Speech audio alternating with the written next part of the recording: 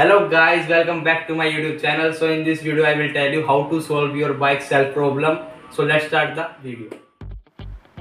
Firstly आपको bike की relay check करनी होगी which was on your left side then आपको सेल्फ वायर फाइंड करके उसकी वायर को डिस्कनेक्ट करना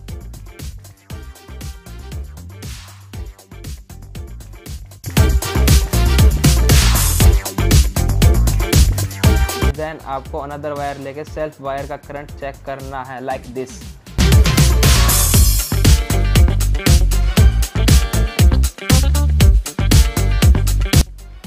self wire find करने के लिए आपको सेल्फ स्विच से जो वायर जा रखी है, उसको फॉलो करना है एंड वो इग्निशन के नीचे जा रखी है।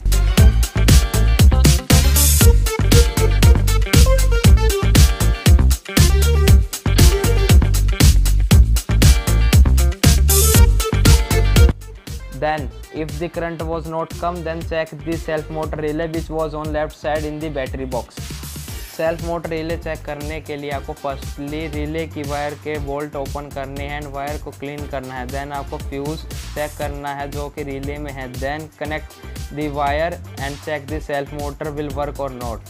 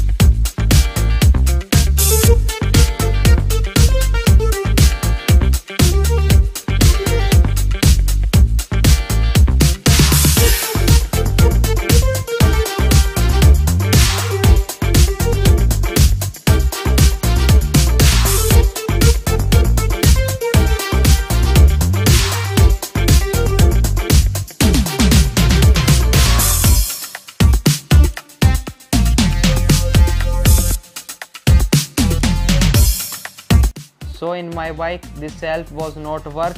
So i will do another way to start the bike but relay was not work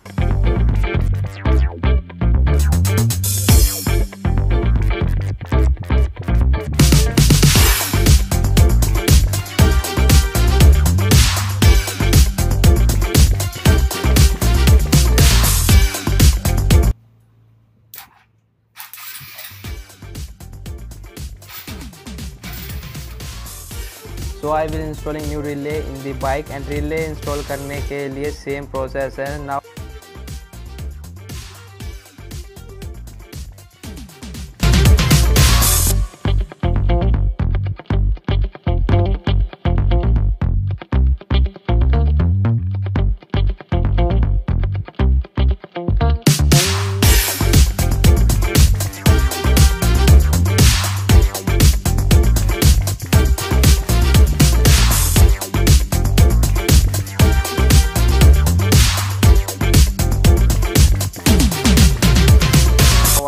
check the current and the current was come now connect all the wire which was open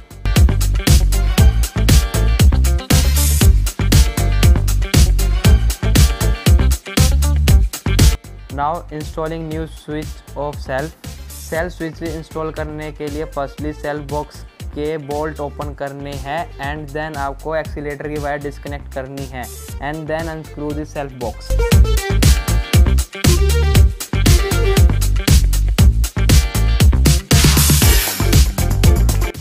new self box install करने के लिए same process